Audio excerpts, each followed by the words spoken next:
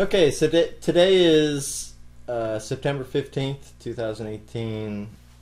It's the 15th anniversary of the passing of Michael Knust, uh, famous guitarist of the band Fever Tree. So, Michael Knust was also my first guitar teacher, and uh, back then I didn't know anything about Fever Tree. So I was uh, 16 years old, living in Spring Branch, Texas. Uh, it was the late 70s.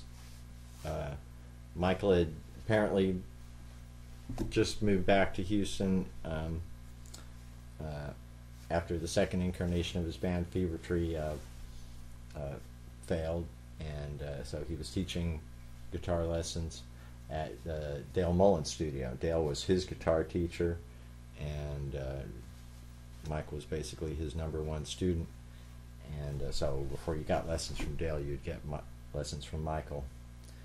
So I just happened to be googling around uh, a few months ago and and came across um, a website with with an interview with with Michael and and uh, managed to learn all a bunch of this, this stuff that I, I didn't know before, and uh, kind of unfortunate but uh, so yeah, he passed away in 2003 when he was just 54, and uh, he was a great guitar teacher and always uh, uh he always inspires me. The, the things he taught me, diatonic harmony and, and chord theory and uh, triads on the neck, uh, all this stuff, just just really set me out outright in this little lifetime of of um, trying to learn how to play guitar and so, anyway, uh, this the, the, Fever Tree was kind of a one-hit wonder,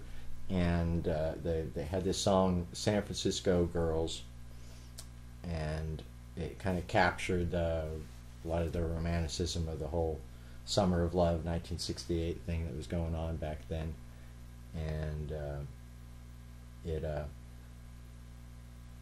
really featured Michael's guitar playing, which has this this uh, sort of Eastern influenced uh, sound with the the leads that he's playing. It's very very complicated uh, uh guitar work, and the song itself has very complicated arrangement.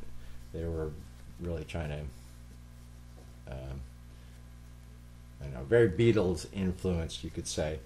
Um, but uh, you know, these were just a bunch of guys in Houston really romanticizing about the the scene going on out in San Francisco back then, the Summer of Love, and uh, so. Uh, of course, sometimes it always looks a little bit better from afar when you can't see the, the junkies on Haight Ashbury. Uh, so, anyway, uh, at the end of the song, at the end of, of California Girls, there's this kind of segue to this this little ending reprise part or whatever you want to call it. Um, and and during this little segue, Michael's for it starts out he's he's playing a lead and then it, he, holds this note that that just starts feeding back and goes on and on. And so Michael would, would I, I imagine he would crank his com- compression all the way and have his distortion turned up so you get just the stick his guitar after the amp, and it just gets this sound that just once you pick the note, it's it's never going to end. And the compression is so high, you don't even hear the sound of the pick, and so the sound just just just starts and and and just goes on and on and on.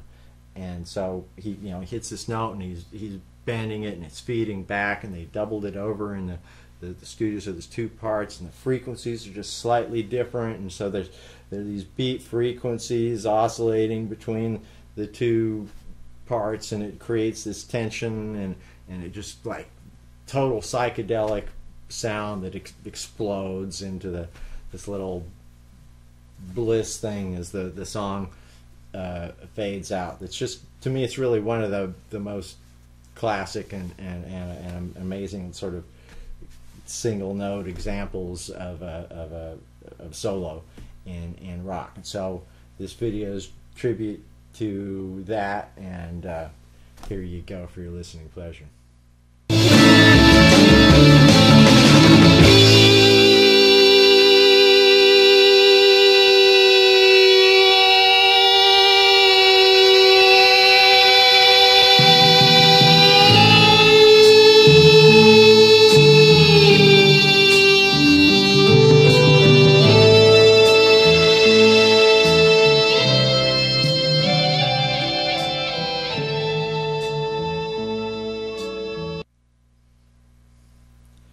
Right, so there you have it, Michael Knust's solo on um, the ending of California Girls by uh, Fever Tree. Um, I'm sure that part right there uh, inspired hundreds, if not thousands, of uh, guys to pick up a guitar and, and crank it up and, and play with feedback on their amp, uh, just like uh, Jimi Hendrix and and all that. And uh, but that was Michael Knust, my guitar teacher, um, who uh, who left us too soon, and I wish I'd uh, gotten hooked up again with him before he passed on. Um, so anyway, people uh, try to be inspired and uh, inspire others. Peace out.